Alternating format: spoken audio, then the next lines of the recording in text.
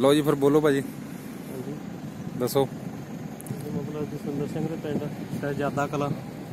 ਹਾਂਜੀ ਤੇ ਸਾਰੇ ਪਿੰਡ ਨੇ ਇਦਾਂ ਹੀ ਕੀਤੀ ਆ ਹੈਪੀ ਸੀਡਰ ਨਾਲ ਹੀ ਕਣਕ। ਜਿੱਥੇ ਮੈਨੂੰ ਲੱਗਦਾ ਕਿ 5% ਵੀ ਨਹੀਂ ਏਰੀਆ ਹੋਣਾ ਜਿਹੜਾ ਵਾਹ ਕੇ ਬੀਜਿਆ ਹੋਵੇ ਲੋਕਾਂ ਹੂੰ ਹੂੰ। ਮਤਲਬ ਜਿੱਥੇ ਤੱਕ ਨਿਗਾਹ ਜਾਂਦੀ ਆ ਦੂਰ ਦੂਰ ਤੱਕ ਇੱਕ ਪਿੰਡ ਨਹੀਂ ਇਹ 5 7 10 ਪਿੰਡਾਂ ਦਾ ਇਹ ਹਾਲ ਹੈ। ਸੜਕ ਦੇ ਦੋਨੇ ਪਾਸੇ।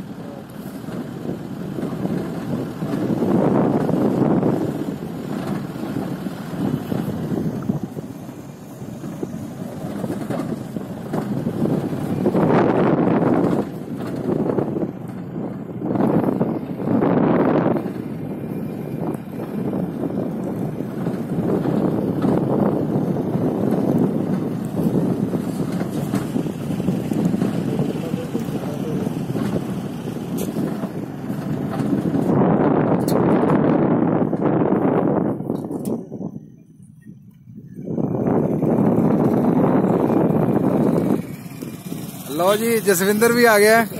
ਜਿਹਦੇ ਮੁੰਡੇ ਦੀ ਗੱਲ ਹੋ ਰਹੀ ਹੈ। ਆ ਮੋਟਰਸਾਈਕਲ ਵਾਲਾ ਮੁੰਡਾ ਜੀ।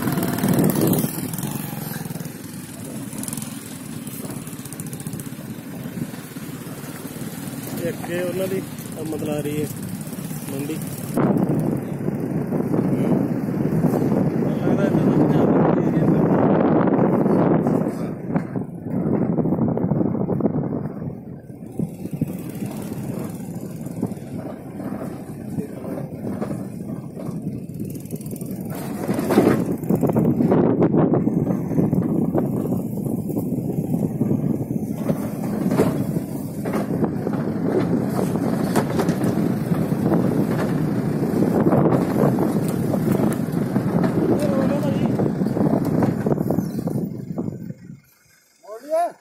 ਬਸ ਜੀ ਬਸ।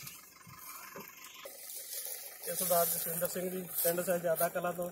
ਇਹ ਪਿਛਲੇ ਮਤਲਬ 10 ਸਾਲ ਤੋਂ ਲਗਭਗ ਜੀ ਇਹ ਬਿਜਾਈ ਕਰ ਰਿਹਾ। 2007 ਦੇ ਵਿੱਚ ਇਹੋ ਹੀ ਦੋ ਕਿੱਲੇ ਇਹਨਾਂ ਦੇ ਬਿਜਾਈ ਕਰਕੇ ਗਏ ਆ। 8 ਵਿੱਚ ਇਹਨਾਂ ਨੇ ਆਪਣੀ ਮਸ਼ੀਨ ਲੈਂਦੀ ਸੀ। ਉਸ ਤੋਂ ਬਾਅਦ ਇਹ ਬਿਜਾਈ ਕਰ ਰਹੇ ਆ। ਬਾਕੀ ਇਹ ਸਾਰੀ ਜੋ ਚੰਗੀ ਲੱਗੀ ਕਿਵੇਂ ਮਾੜੀ ਲੱਗੀ ਦੱਸਣਗੇ ਜੀ। ਸਤਿ ਸ਼੍ਰੀ ਅਕਾਲ ਜੀ ਮੈਂ ਜਸਵਿੰਦਰ ਸਿੰਘ ਪਿੰਡ ਸਹਜਾਦਾ ਕਲਾਂ ਤਹਿਸੀਲ ਡੇਰਾ ਬਾਬਾ ਨਾਨਕ ਡਿਸਟ੍ਰਿਕਟ ਗੁਰਦਾਸਪੁਰ ਤੋਂ ਆ ਜੀ। ਤਾਂ ਮੈਂ 2007 ਤੋਂ ਮੈਨੂੰ ਸਭ ਤੋਂ ਪਹਿਲਾਂ ਸਰਦਾਰ ਜੋਗਿੰਦਰ ਸਿੰਘ ਕੰਬੋਜ ਮਕੈਨੀਕਲ ਵਰਕਸ ਦੇ ਮਾਲਕ ਜਿਹੜੇ ਨੇ ਓਨਰ ਨੇ, ਉਹਨਾਂ ਨੇ ਇਸ ਵਾਰ ਇਨਸਿਸਟ ਕੀਤਾ ਕਿ ਤੁਸੀਂ 2 ਕਿੱਲੇ ਜਿਹੜੇ ਨੇ ਉਹਦਾ ਬਿਜਾਈ ਕਰੋ। 2007 ਤੋਂ ਅਸੀਂ 2 ਕਿੱਲਿਆਂ ਦੇ ਵਿੱਚ, ਇਹਨਾਂ 2 ਕਿੱਲਿਆਂ 'ਚ ਬਿਜਾਈ ਸਟਾਰਟ ਕੀਤੀ ਸੀਗੀ ਜੀ। ਤੇ ਉਸ ਤੋਂ ਬਾਅਦ ਸਾਨੂੰ ਚੰਗਾ ਲੱਗਾ, ਉਹਦਾ ਝਾੜ ਵੀ ਵਧੀਆ ਰਿਹਾ ਫਸਲ ਦਾ। ਤਾਂ ਉਸ ਤੋਂ ਬਾਅਦ ਅਸੀਂ ਲਗਾਤਾਰ ਆਪਣੀ 2008 ਚ ਟਰੈਕਟਰ ਨਵਾਂ ਲਿਆ ਇਸੇ ਲਈ ਕਿ ਹੈਪੀ ਸੀਡਰ ਲੈਣੀ ਹੈ, ਕਿਉਂਕਿ ਛੋਟਾ ਸੀ ਟਰੈਕਟਰ, ਉਹ ਮਤਲਬ ਨਹੀਂ ਸੀ ਕੰਮ ਕਰਦਾ। ਤਾਂ ਅਸੀਂ 2008 ਤੋਂ ਫਿਰ ਨਵਾਂ ਟਰੈਕਟਰ ਲੈ ਕੇ ਤੇ ਨਾਲ ਨਵੀਂ ਮਸ਼ੀਨ ਲੈ ਕੇ ਬਿਜਾਈ ਸਟਾਰਟ ਕੀਤੀ। ਉਸ ਟਾਈਮ ਤਾਂ ਅਸੀਂ ਕੋਈ 65 ਕੁ ਕਿੱਲੇ ਪਹਿਲੇ ਫਸਟ ਟਾਈਮ ਕਹੀ ਸੀਗੀ ਜੀ 2008 ਚ ਅਸੀਂ ਕਣਕ। ਤਾਂ ਉਸ ਤੋਂ ਬਾਅਦ ਅਸੀਂ ਲਗਾਤਾਰ ਫਿਰ ਜਿਉਂ ਜਿਉਂ ਡਿਮਾਂਡ ਵੱਧਦੀ ਗਈ ਪਿੰਡ ਦੇ ਵਿੱਚ। ਲਾਗੋਂ ਲੋਕਾਂ ਨੇ ਵੇਖਿਆ ਵੀ ਵਧੀਆ ਚੀਜ਼ ਹੈ ਚੰਗੀ ਹੈ ਟੈਕਨੀਕ ਸਾਡਾ ਏਰੀਆ 'ਚ ਕਲਰ ਬਹੁਤ ਜ਼ਿਆਦਾ ਤਾਂ ਪਰਾਲੀ ਕਲਰ ਨੂੰ ਕਾਫੀ ਕੰਟਰੋਲ ਕਰਦੀ ਹੂੰ। ਤਾਂ ਉਸ ਤੋਂ ਬਾਅਦ ਵੱਧਦਾ ਗਿਆ ਏਰੀਆ ਫਿਰ 100 ਕਿੱਲਾ ਫਿਰ 150 ਕਿੱਲਾ। ਤਾਂ ਹੁਣ ਕੋਈ ਲਗਭਗ ਕੋਈ 65% ਜਿਹੜੀ ਹੈ ਜਿ- ਜਿੰਨਾ ਕਿ ਡਾਟਾ ਮੇਰੇ ਕੋਲ ਹੈ 65% ਜਿਹੜੀ ਹੈ ਮੈਂ ਇੱਕ ਦਿਨ ਕਾਊਂਟ ਕੀਤਾ ਸੀਗਾ ਪਿੰਡ ਦੇ ਵਿੱਚ ਤਾਂ 65% ਜਿਹੜੀ ਹੈ ਇਸ ਦੇ ਨਾਲ ਬਜਾਈ ਹੋਈ ਹੈ ਜੀ ਅੱਗ ਲਾਉਣ ਤੋਂ ਬਿਨਾ ਹੈਪੀ ਸੀਡਰ ਦੀ।